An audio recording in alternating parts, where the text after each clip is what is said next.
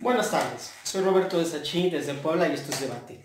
Si el presidente del Congreso de Puebla, Gabriel Besto Medinilla, quien es el coordinador de la mayoría de Morena en el Congreso, ya no quiere ser más, eh, más que diputado local, entonces puede darse el lujo de pelearse con la UAP como lo está haciendo.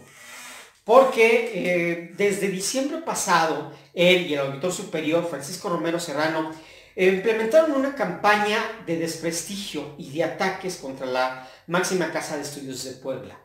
Y, eh, por ejemplo, le enviaron revisiones a la UAP de recursos federales, a pesar de que el Congreso local, la Auditoría Superior del Estado, no tiene facultades legales para auditar recursos ni federales, ni para auditar los recursos propios de la, de la UAP. Lo han intentado hacer.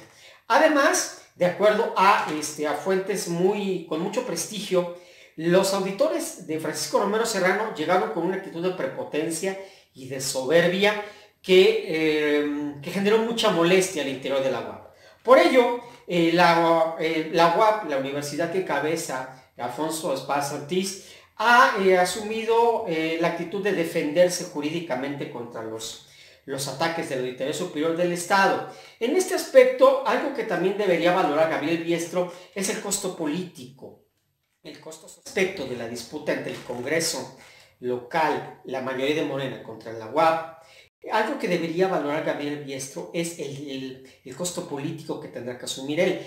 Gabriel Biestro quiere ser candidato de Morena a la presidencia municipal de Puebla en 2021. Entonces, en este contexto va a ser muy complicado que, este, que después de sus, sus ataques frontales contra la UAP, contra los universitarios, pues en el 2021 vaya a pedirles el voto. Entonces, sí es un tema que, eh, que debería analizar bien, porque además atacar a la UAP está teniendo el efecto contrario que buscaba Biestro, porque en lugar de que el rector Alfonso Esparza haya sido aislado o cuestionado, al revés, la comunidad universitaria ha arropado al rector y a todas sus autoridades. Soy Roberto de Sachi y esto es Debate desde